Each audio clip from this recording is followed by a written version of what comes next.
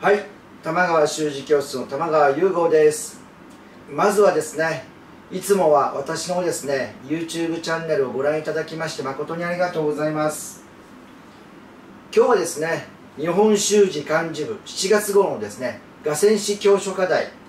こちら初段からですね準3段までの方が書くですね課題につきまして全体のまとめ方をレクチャーしていきます。前回はですね一文字ずつこちらの課題をですねレクチャーいたしましたけれども今回はですね全体をまとめていくということでそのまとめ方についてですね上手に書くためのポイントを申し上げますね。まずはそのポイント4つほどあります。1つ目はですね行の中心を外さないということですね。前回ですねこの行の中心をですね折っていただいて線を引いていただいたと思いますけれども文字がですね右に寄ったり左に寄ったりせずにですねしっかりと行の中心を捉えてですね書くようにしてください。はい2つ目はですね行書ですので気脈を通して書くというところですね。前の書くからの気脈を受けてそして書いてですね次の書くへと気脈を通していくというところですね。特に穂先をですね意識して書くとですねいいと思います。そして3つ目はですね文字の形状大きさ線の太い細いを捉えてですねバランスよく書くというところですね。この課題で言いますと墨継ぎをしてですね最初に書くこの章ですねちょっと太めで大きめです。そして雨初かこれらはですね横長ですね。基本的にですね辺と作りでまとめるですね文字は横長上下にまとめる文字は縦長がですね基本となります。そういう意味ではですねこのカエルは細くて縦長辺と作りのですねこの文字なんですが最後のこの払いですね長く書くことによって縦長にしていますね。でこの量ですね横長というよりも正方形に近いようなですね書き方となります。はい。でこの「み」「み」はですね全体で見てもですね小さめ。しかし横角太くて縦角が細いですよね。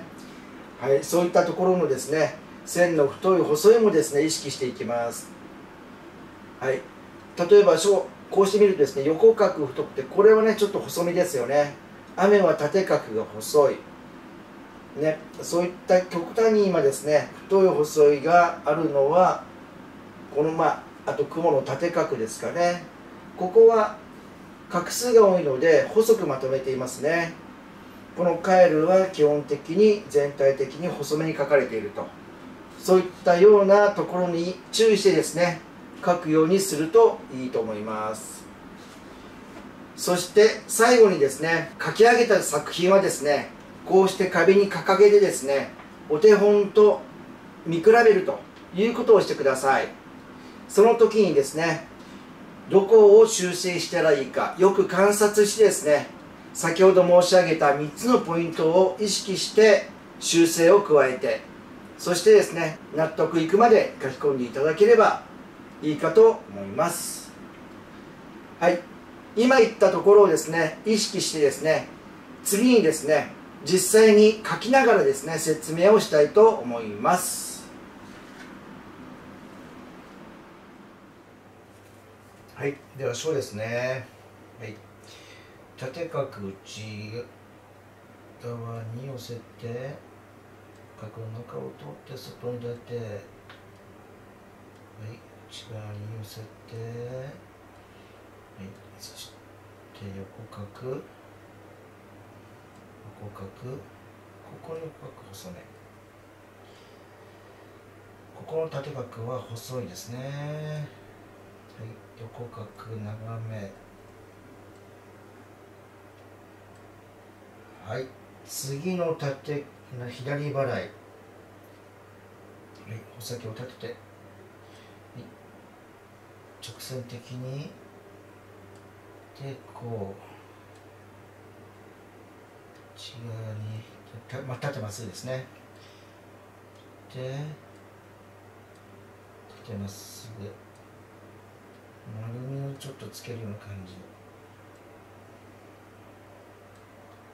で横角。横角と。はい。そうです。次は雨。雨は横長。はい。画目四筆太めですね。でこの中を通って丸みをつけて内側に中を通って外に出て押さえて内側にで寝て。はい。次の縦角は細い。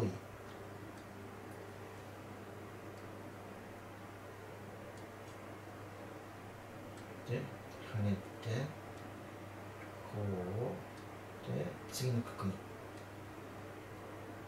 でこう貼っていきますそして量ですねはい。量は正方形。1 2 3でここはあまり長くしないです。でこここうで横にこう払っていくようにして右上がり。で払って縦内側に右上がり角の中を取って右上がりそして内側にはいここではい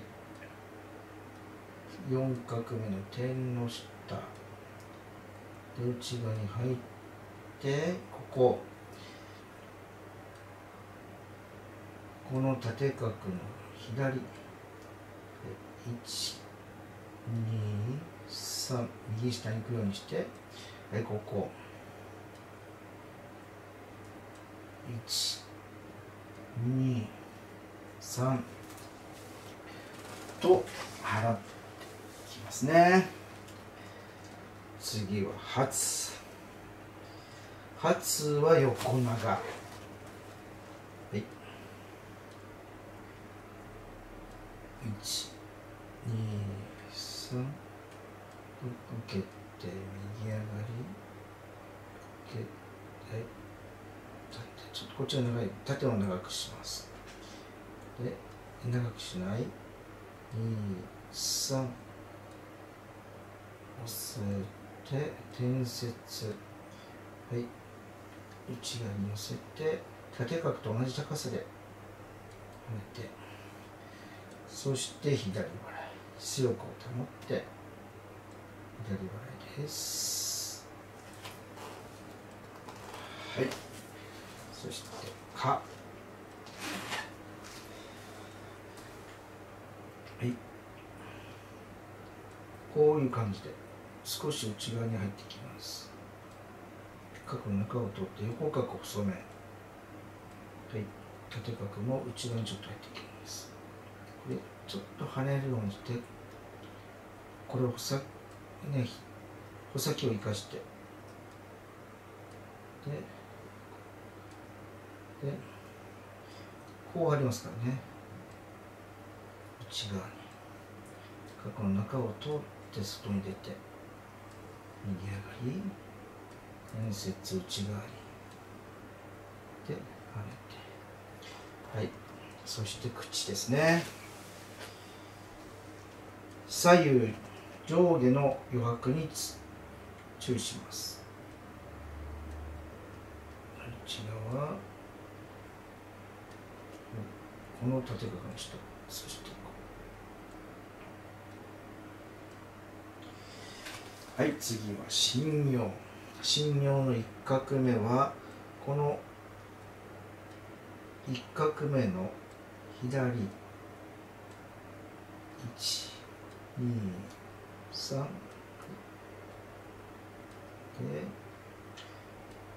ここ左あまり出ないようにしてお尻を少し出してでこうでここで横に行ってそこから次第に右下。はい。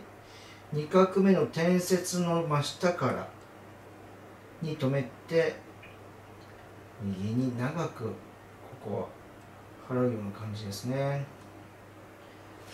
穂先が止めてみますね。高い。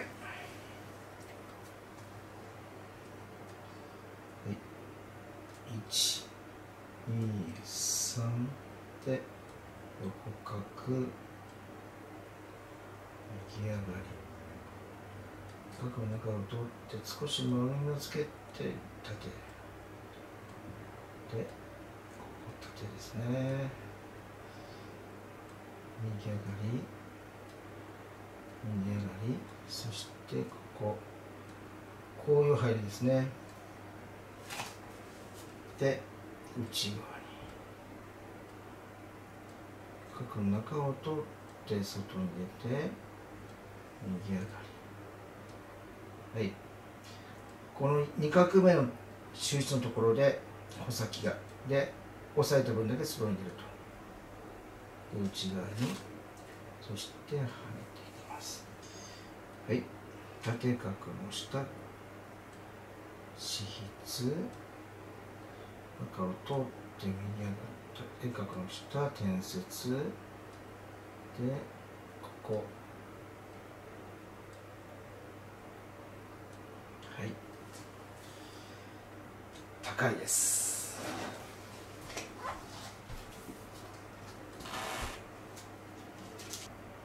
はい雲ですね一画目少し太めですね。角の中を通って払ってこう。はい次。角の中を通って外に出てでこっち右側のを長く。で内側に払って。そして立ててでで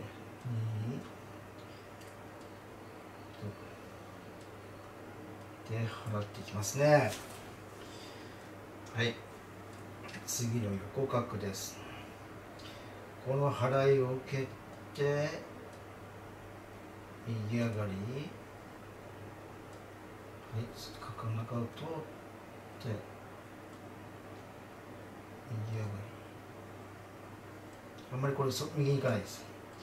角の中を通ってこの中心のところから左下に行くような感じ。でここは支筆深むはい右上に結構出力を保ってここでこういう動きこういう動きですね。で大きめに2 2123と。いうような運筆ですね。はい。次は薄い。薄いは全体的に細めでまとめていっています。はい。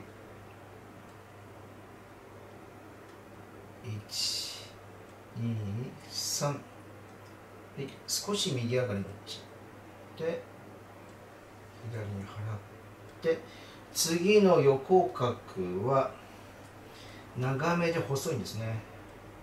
こういって。でで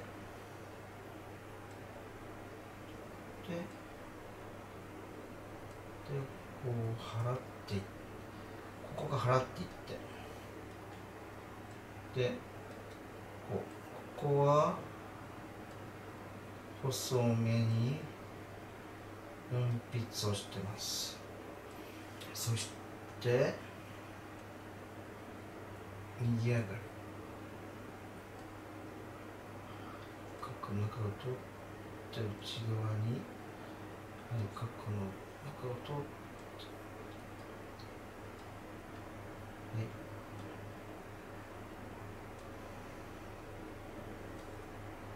でこれですね。でこっち。最後でもいい気がするんですけどね。そして。こうこう言ってるようにねちょっと見えるんですけどまあちょっとはい。く。そしてこの点節のところ。点節ごめんなさい。竹角ので次第に太くして内側に入って払って点123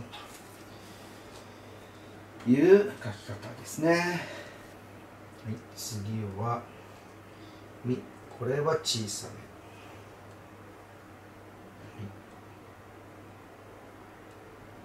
言える23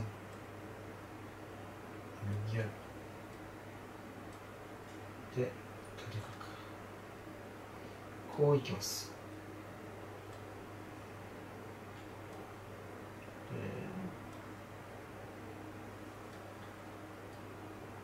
グッと入ってこれ結構外に行くんですよね。外に行ってって123早くついちゃった。やばい。123とごめんなさい。ちょっと早くついちゃって。あれでしたけども「み」ですね。そして最後「帰る」です。はい1か月太め。123でここは細めで。でこういう動き。で内側に。下からこう。で払って細め。細めですよね細め。こうで角の中を通って。この点節の外に出て押さえて払っていきます。はい。そして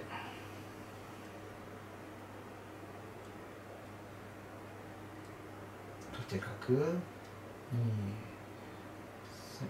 はい。これあまり右上がり強くないですね。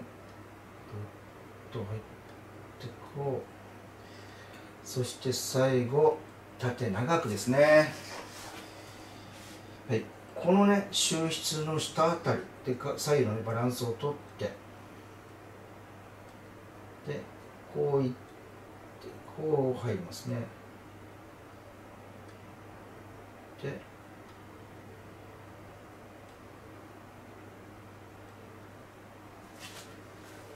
このような形となりますね。はいそれではですね壁に貼って見てみたいと思います。はい書き上げた作品をですねこうして壁に貼ってですねお手本と見比べてみていきます。はいこうして見るとですね雨のですねちょっと中の方が狭くなっちゃってるかなっていうところと「み」がね先ほどちょっと書きながら言ってしまっているんですけども最終角は早く着地しましたのでちょっと様子ね方向が違うかなっていうところですのでそこはね皆さんちょっと注意して書くようにしてください。文字のね大きさ線の太い細い線の太い細いをもっとね出せたらいいかなっていう感じではありますけれどもはいこうしてですね自分の書いた作品を貼って眺めてですねそして修正を加えていってください。そしてですね書き込んで納得ができるまでですね書き込めればいいかと思います。はい今日は以上です。